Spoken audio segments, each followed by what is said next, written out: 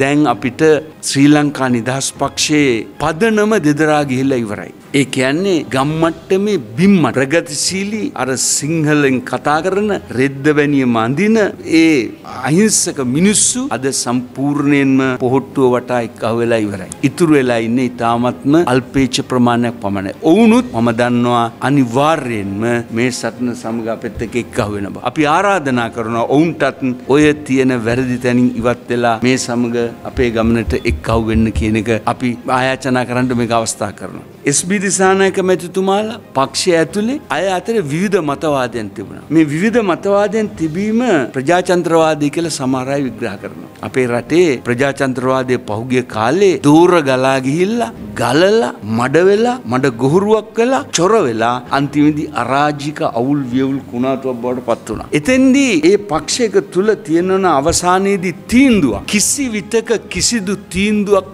නොගැනීමේ තීන්දුව නිසා පක්ෂයේ කෑලි කෑලි වලට කැඩලා ගියා. නැට්ටට ගැහුවාම වල්ල බිම. නැට්ට හයිය නැහැ. නායකත්වයෙන් පැහැදිලි දිශාව තීන්දුව කරන්නේ නැතුව ඕනම කෙනෙකුට ඕනම නාටකමක් නටන්න ඉඩ දීලා අහක බලාගෙන ඉඳීම නිසා පක්ෂයත් ගමන් මගත් සියල්ලම අවුල් වෙලා ඇදගෙන වැටුණා කියන එක අපි පැහැදිලිව කියනවා. ඒ නිසා ඉදිරි කාලය තුලදී අපි මේ ගමන එකුස් සටනක් කළා මේ සමගිය ගොඩනගන්න නායකත්ව එකතු කරන්න සාකච්ඡා කරන්න. අපි දැන් අද යුගයේ අවශ්‍යතාවය හැටියට තේරුම් අරගෙන තියෙන කුමක්. හැම යුගයකටම යුග පුරුෂයෙක් නිර්මාණය වෙනවා. බණ්ඩාරනායක මහත්තයා බිහි වුණා. එක් අවධියකදී චන්ද්‍රිකා කුමාරතුංග මැතිණිය, එක් අවධියකදී මහින්ද රාජපක්ෂ මැතිතුමා. අපි අද නැවත ගොඩනගන්න යන්නේ පක්ෂයක නායකයෙක් නෙවෙයි, ජාතියක නායකයෙක් විතරක් නෙවෙයි. මේ යුගයේ නිර්මාතෘ කරන යුග පුරුෂයෙක් හැටියටයි ගෝඨාභය රාජපක්ෂ මහත්මයා අපිව දකින්නේ. මේ යුගයේ අවශ්‍යතාවය මේ අරාජික පරාජිත අවුල් වියවුල් සහිත අස්ථාවර රජයක් ආදේශයක් වෙනුවට